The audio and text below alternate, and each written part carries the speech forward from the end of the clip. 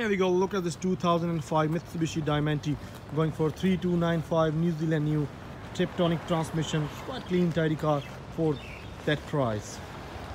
Factory fitted alloys. Just give a look inside the car. Electric seats. Then 194,000 Ks, which is pretty low for that price. And a cam belt and water pump just been replaced at 183,000 Ks. So it's a good deal here for you guys. The financing option also available. You can walk in at 715 Great South Road, Papatoetoe, or either you can go on our website at www.nzcars.org or do an online application there. Our finance team will get back to you as soon as they can. Thank you.